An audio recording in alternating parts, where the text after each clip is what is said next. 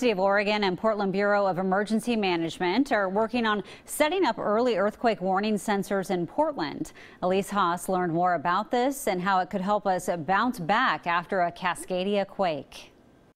What if you knew about an earthquake moments before it hit?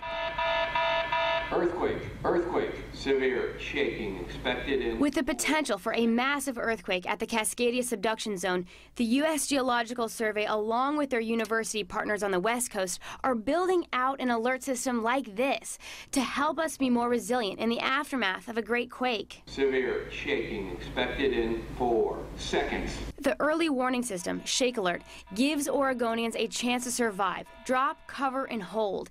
And seismologists say it can help protect critical energy infrastructure automatically. Like slow down trains, uh, turn off water valves, or uh, kick on emergency generators. So that's the sort of in internal focus right now is to use automated actions. Oregon Seismic Network Manager Dr. Leland O'Driscoll is one of many people working to build out the earthquake sensors for the alert system. Oregon needs to build 200 sensors, and so far they have 73. Oregon has already invested $1 million but it will take 12 million more. This will be a mix of state and federal funding through USGS.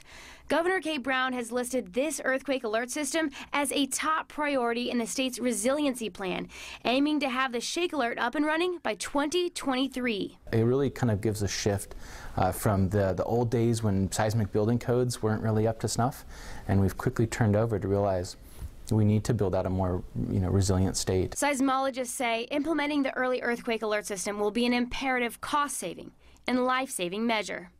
In Portland, Elise Haas, KOIN 6 News.